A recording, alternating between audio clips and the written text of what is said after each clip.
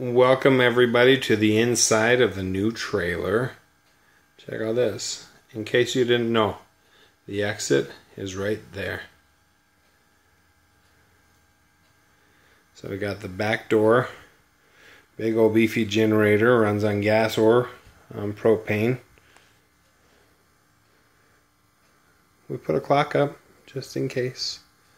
All our signage. We got the dual sliding windows with screens and the vending window that pops out. And there's a counter for inside. That's our serving counter. And then on the ground here is the outside counter. So they're both removable. So obviously when we're driving, we don't need it. There's our A-frame sign with our 47 flavors and everything else. New shaver, pretty fancy. Runs on a uh, deep cycle marine battery that's down there. Got our little mini refrigerator for our cream topping. And our giant freezer will hold over 50 blocks of ice, so about 500 pounds of ice in that.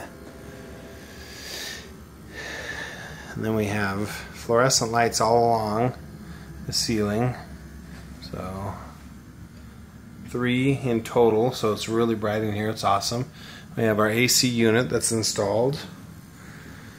And on this back wall, you can see all of our concentrates, so that's what we use to refill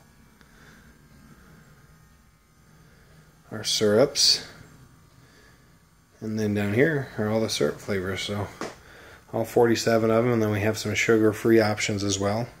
Don't try them, they're really gross. And then we have a little section right here on the counter that we'll put uh, these pieces of vinyl fencing. And on top of those we'll put the refill five gallon syrup bottle. So when we need to remake syrups we'll use that. So it comes with uh, a water pump and water heater. Those are the switches and those are under the sink here. So it's got some storage under there and a big water heater And right there is our 25 gallon water tank. Underneath that is a 30 gallon waste tank. You can see all the plumbing under there. So we have a three compartment sink and then a hand washing sink over here, which currently has a garbage can in it for when we're mo mobile and moving. We got our mop and our broom.